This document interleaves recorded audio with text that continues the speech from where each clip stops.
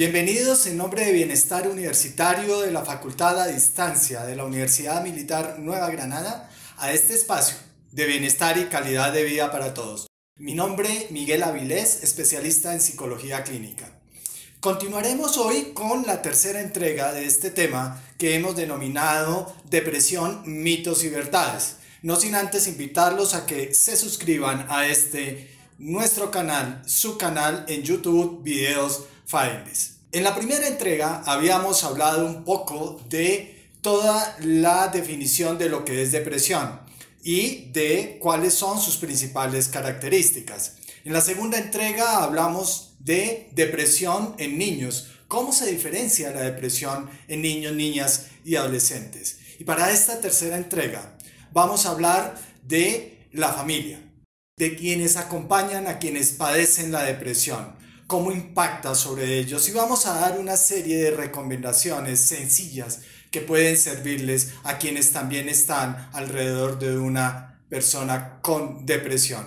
Así que sean ustedes bienvenidos nuevamente acá, a este su canal. Esperamos todas sus recomendaciones, sugerencias, preguntas que las iremos resolviendo. Ojalá en el próximo en la próxima entrega, nuestra última entrega que tendremos acerca de depresión, mitos y verdades. Bienvenidos nuevamente a este su espacio. Quiero, en primer lugar, nuevamente hacer referencia a la diferenciación entre el hecho de sentirse triste a tener un trastorno depresivo. Son dos cosas completamente distintas. Puedo tener algunos síntomas, pero no tener un trastorno depresivo. Y eso es importante porque es lo que va a diferenciar también seguramente de lo que pueden tener las personas que acompañan un proceso como quienes están alrededor, como es la familia. La familia y en especial quienes están al cuidado de las personas con depresión pueden llegar a ser afectados.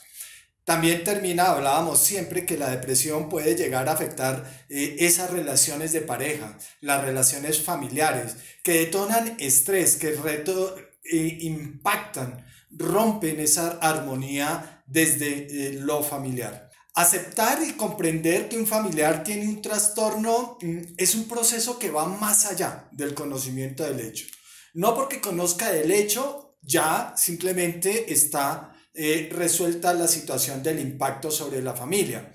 Eh, hay que tener eh, varios aspectos alrededor de eso. Generalmente, una de las cosas que uno va a encontrar dentro de lo que presentan las familias es esa especie como de duelo, como esa pérdida inicialmente que pueden tener alrededor de tener una persona con depresión que eh, configura etapas como estas. En primer lugar, como ese rechazo, como esa negación a lo que está sucediendo. Generalmente hay un rechazo a los diagnósticos, ¿sí? Comienzan a surgir esas frases alrededor de eh, eso no es tan cierto, es falta de voluntad, no pone de su parte, o generalmente es un tema que se comienza a ver que como algo de lo que no se habla de alguna forma para posteriormente pasar a esos estados seguramente entre eh, eh, ira, tristeza. Yo siempre digo que las personas comienzan a estar en, en, estos dos lados, entre sentir rabia por la situación que les está tocando vivir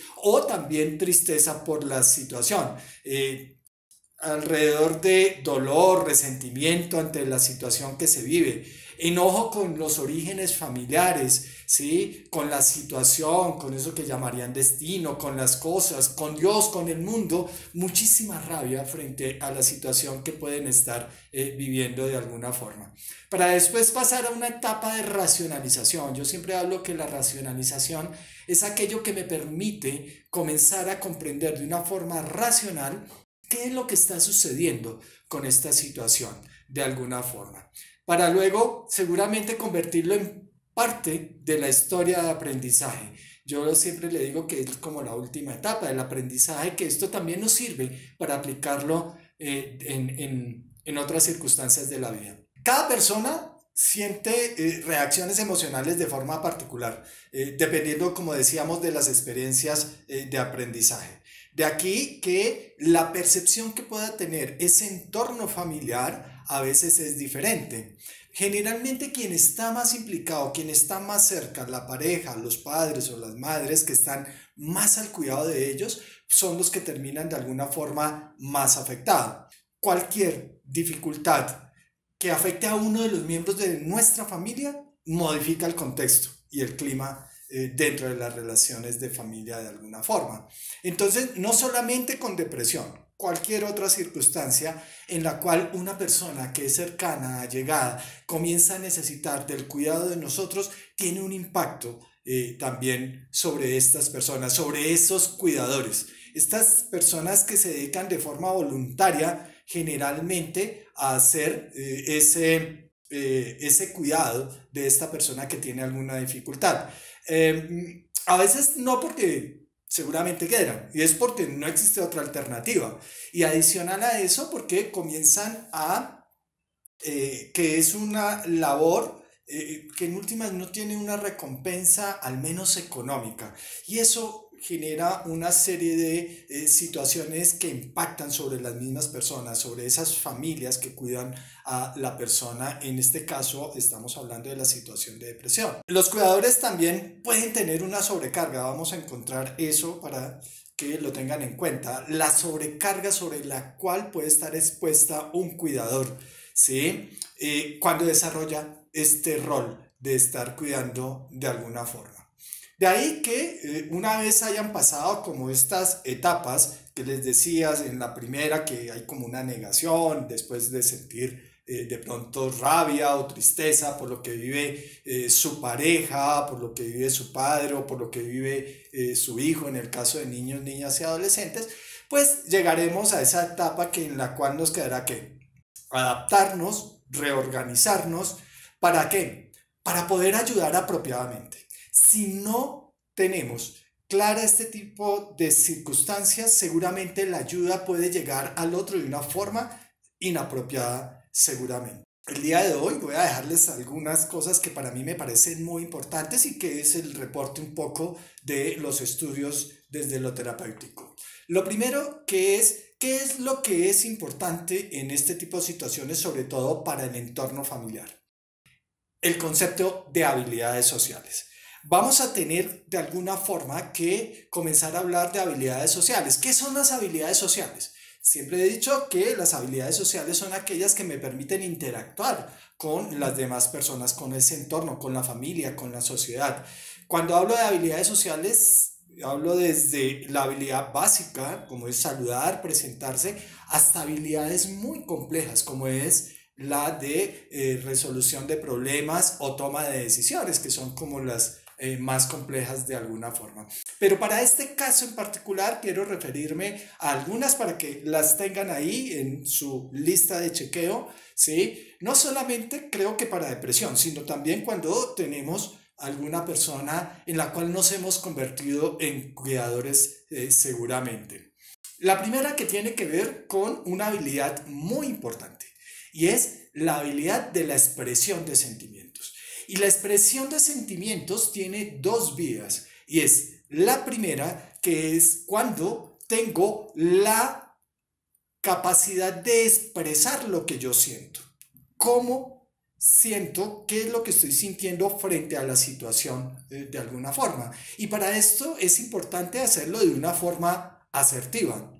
Ni con rabia, ni con tristeza, porque va a generar malestar. Entonces, importante que quienes están alrededor de eh, la persona con depresión puedan ser muy asertivos, puedan expresar también frente a la persona que cuidan, pero también a ese entorno, a ese red familiar de apoyo que puedan expresarle de una forma asertiva lo que están eh, sintiendo. Pero que también estemos dispuestos a qué? A escuchar, a escuchar la expresión del sentimiento del otro. Que no lo hagamos como un juicio de lo que él se está sintiendo, no es por culpa mía, simplemente está expresando lo que el otro siente. Por eso es importante en la habilidad de la expresión de sentimientos las dos cosas. Es escuchar, pero también de alguna forma que poder ¿sí? expresar esta serie de sentimientos. En cuidadores es importante desarrollar una habilidad una competencia, le llamarían hoy, como es la de el trabajo en equipo. Y el trabajo en equipo va a ser importante porque como decíamos que hay una sobrecarga, si se desarrollan estas competencias de trabajo en equipo, seguramente esta persona no va a perder o va a bajar su nivel y calidad de vida por el hecho de ser un cuidador. Y hay que comenzar a trabajar estas habilidades de trabajo en equipo. Iniciar con procesos también de autoevaluación y autoeficacia. Generalmente los cuidadores tienden a hacer una autoevaluación negativa de lo que hacen, porque sienten que no hay un avance en el que están cuidando, en especial en depresión, cuando hay retrocesos, sienten que son responsables por lo que está sucediendo con la persona que cuidan con depresión, porque sienten que no avanzan y que hace parte de su responsabilidad. Aquí es importante comenzar a tener ese proceso de autoevaluación y autoeficacia, que la persona sepa cómo autoevaluarse, de forma que sea racional, que sea objetiva eh, de alguna forma. Y en especial también comenzar a trabajar el tema de afrontamiento y solución de problemas. Eh, en, la, en la experiencia, esto lo que ha dicho es de las competencias más importantes que deben tener las personas en esas situaciones, que puedan tomar decisiones de forma adecuada, que puedan comenzar a hacer ese ejercicio de sopesar toma de decisiones, beneficios, eh, lo positivo, lo negativo, lo por mejorar de alguna forma y que le permita tener mejores habilidades de afrontamiento frente a la persona que cuidan, frente al cuidado, frente a los profesionales que están haciendo el manejo de esta persona de alguna forma. Y por último, el hecho de la psicoeducación en la dificultad del familiar.